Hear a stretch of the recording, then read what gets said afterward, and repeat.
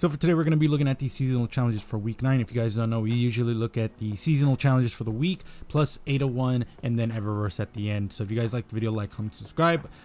Do be aware that next week, week 10, should be the last week of the challenges. At least that's how it usually rolls out. I don't know if they're going to do more challenges because this is a longer season. But if this follows how season of the Lost was, then it does not have more challenges. So just to let you guys know, because you guys are going to want to complete some of these if you guys want to get the bonus bright dust at the end. And as you guys can see, I'm at 24, have not been playing the game at all. But again, we have such a long season that you guys should be able to nail this out. So again, like, comment, subscribe, hit the bell notification because I do think my content is worth it. Other than that, Dragon's Defender 5? 5. Defeat targets with pulse or scout rifles gain additional progress from Guardian final blows and final blows within Riven's lair or the coil not hard. I would probably be using a pulse rifle just because that pulses are a little bit more fun to me, but there are some really good exotics that you could be using for scout rifles. Lost in the legend, complete a lost sector on legend or higher. Not hard. Legend is like the base uh, difficulty, and then master is the higher one. So it's up to you, really. I would do master if you really want to farm some uh, exotics, but it really don't matter. Over specialize, get final blows with weapons in the energy slot while in ritual weapons or ritual activities. Earn bonus progress by defeating guardians. So this one's not hard. Um, just do ritual activities. There is Iron Banner this week, which should count as a ritual activity. That being said, I don't know if it would. Either way, not hard at all. Iron Iron, complete Iron or Crucible matches, earn bonus progress in Iron Banner for and for activities. This is pretty cool. I really appreciate that they started doing um, cru like Crucible matches and then Iron Banner is bonus because uh, after Iron Banner is done, this would essentially be unobtainable. So this is pretty cool that they started doing this. But Iron Banner is this week, so if you guys want to complete this, more than happy to do it, man. Defeat champions in any Nightfall Strike on hero difficulty or higher. Earn bonus progress at higher difficulty tiers. Um, we'll see what which uh, what Nightfall it is to see if it's an easy one, but I would literally just do Nightfalls on hero difficulty and just like kind of turn your brain off. And then calibrates close range. Calibrate close range weapons, sidearms, submachine guns, shotguns, glaives, and swords. Bonus progress for defeating guardians. So I would literally do. Actually, we can just back out now. So I would literally just be doing like SMGs, not you, SMGs and uh, what shotguns. That's I. I would literally be just be running that on the EDZ most most of the time. Uh, or or if you want to be smart, you could actually combine this with. Let me see if I can find one. Uh, see. Oh, I can complete this one. Complete Iron Banner match. Oh, I gotta complete this one. This is the unobtainable one. Um, so I would do it like in Neptune or whichever one we have, like another planetary one, just because it'll be easy just to, or EDZ, there we go. So I would be doing this here or here, just because again, I'd be killing two birds with one stone and getting those two completed faster than I really would because I'd be doing the, uh, the lost sectors these this one and this one specifically. I never do this one just because it's not worth it but these two you go in kill a bunch of stuff and then back out. This one you have to do a whole like you have to go around the whole thing kill all the enemies and then have the doors open. So i don't like one. These two are much easier for that. So yeah let's actually go to nightfall real quick. Like i said i would um hypernet current. Ooh i don't I don't think there is. Okay, so like if you do the master, no, not master, because that that'd be fucking terrible. Legend, I think legend would be fine. You get bonus for grenade launchers, which is nice.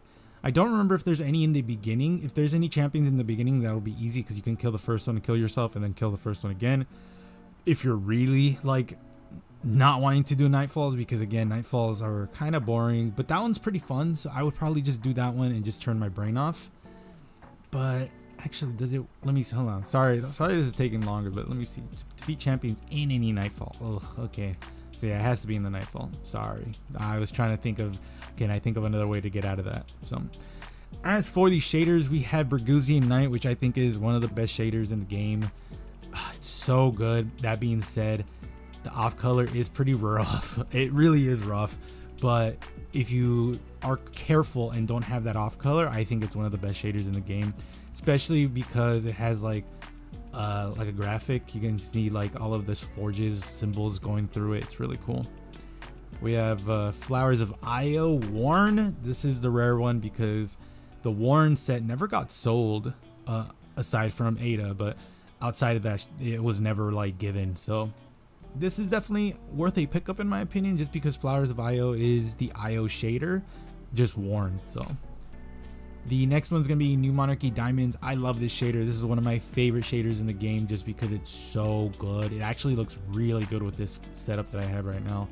Uh, ignore the cloak. That's not the cloak that I usually go with this. Actually, if I'm being honest, the ornament I am supposed to put the ornament ornament on it, but I don't. The ornament's not out yet for uh, Bright Dust. Once it comes out for Bright Dust, you guys will see that. So as for the armor set, they're all right here. I'm gonna be honest with you guys. The more I look at this armor, the more I get I get disappointed because for the hunters, you guys will see that there's like a, like whites like uh, stripes on the actual like helmet, like the visor. Uh, those don't change color. The yellow does not change color. So the, the one the yellow on the boots, if I remember correctly, the yellow on the arm does not change color. The chest piece is really cool because it does have that like hunter insignia buckle, which is really cool. But yeah, there's just way too many problems with this. The cloak also has yellow and some pieces that don't change color. So for for the hunters, a lot of it is an L. Hunt Titans, I'm gonna be real with you. A lot of the red boxes that you see do not change color. Um, and then the copper on the arms and the boots do not change color as well. Other than that, all, all of it really does change color. I think the helmet is probably the best piece from this whole set. And Warlocks, um, I think all of it is terrible. It's a worse version of an armor set that we already have in game, which I'll show you guys after we're done looking at the armor. But the helmet's okay. The chest piece again is a weaker version of, it, of a piece that we already have. And the arms and boots are kind of forgettable. And the bond, I didn't even know there was one there.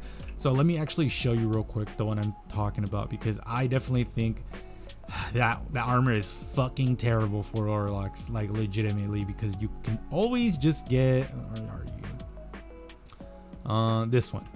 So the new Monarchy one, you can always just get this one and it's going to be almost the same. It's just that this one is way better. Now, if you don't have the new Monarchy one, um, don't be, don't worry. We do have another one, which is the Philomath suit.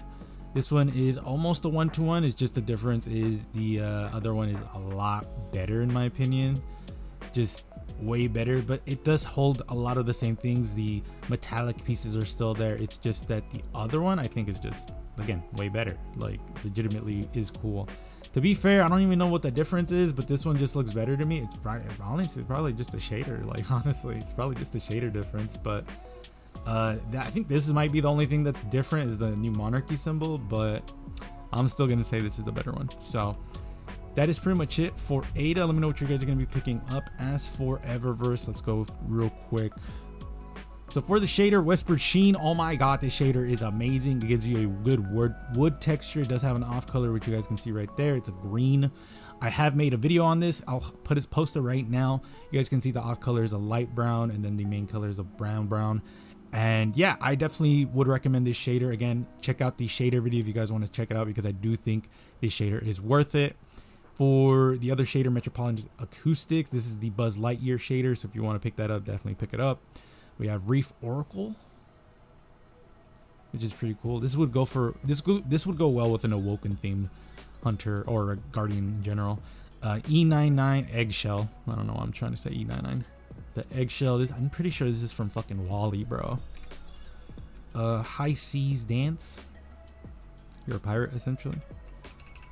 And then for the other stuff, we have Omnipotentia. Omnipotentia, I guess you would say which is just the beat one. I kind of want to get this, but not for eh, that's relatively cheap. Uh, War Torn Peregrine, which does look really cool. I just don't think I would like actually rock it. Uh, Celestial Kestrel. This one does look really cool though. Uh, Wanderer's Shell. Doesn't look terrible actually. Uh, unacceptable.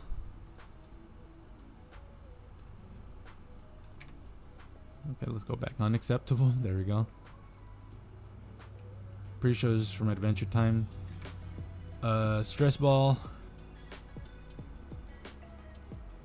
That's funny. And then for the transmat effects, inflorescence. Whatever. Reef shimmer. This would be a good awoken one as well. Uh, reflection effects. I think this one would be for like if you're doing um, Vex or if you have a um, Osiris uh, cosplay. Trinity. Like I like this green if it was on like plate armor. If it was on plate armor, I think that would go really hard. But this doesn't look terrible, I guess. Um, we have Lucid, one of my favorite shaders in the game. Oh shit, it looks good with this set. Wow. Yeah, this shader is definitely dope. Pick it up. Uh, Chit Slate. Oh my god, I should make a video on Chit Slate because people sleep on this one. I don't think people sleep on this, but I don't see it a lot uh, in the in the world. But this is a good shader if you want to turn off glows. Has a really good gold. Um, the only problem is it has so many colors. Like right now, it's doing a good job of hiding a lot of the colors, but you guys will see the purple, red, like beige, no brown, then white, and then beige, and then gold, and then this is an off gold actually because it's a it's a better gold than this. So there's a lot of colors to this one, but if you want to like turn off glows, this is the shader you want. And then Verdigris, Verdigris, I hate that. Like, I like the color of the off color, but I feel like I would have to lean into that off color because it kind of looks weird without other off colors with it. But other overall, I like the shader look. So let me know what you guys are gonna be picking up. I will be, so I will be posting this around 2 p.m. my time because a video just came out at 12 p.m. Yeah, yeah, yeah, yeah. I'll post this one at 2 because then the short video of that video is coming out soon. So I have a lot of videos planned for, for you guys right now. I'm currently working on the anthemic stuff. So right now I'm going through the Wormguard stuff. Uh, the Hunters should have been out today. Titans will be tomorrow, and then Warlocks will be the day after. And then we'll do the anthemic stuff. But within those videos, you guys will see I'm going to be working on the the exotic ornaments for the classes. So this one right here, uh, hunters are going to be first, then titans, and then warlocks. Usually how I do it. This one might come out tomorrow. Um, if everything goes according to plan, then this one should be coming out tomorrow with the titan video, and then the short for this one will be the day after. Uh, so like I have a lot of content planned for you guys. It's I know I say that quite a bit, but man, I'm actually working through it quite a bit right now. This looks pretty cool. I'm not gonna lie. I'm working on it right now, so give me some time. Also, remember that the Undying stuff is back. I have a video re reviewing the video, reviewing the armor, and the shader videos are both right here.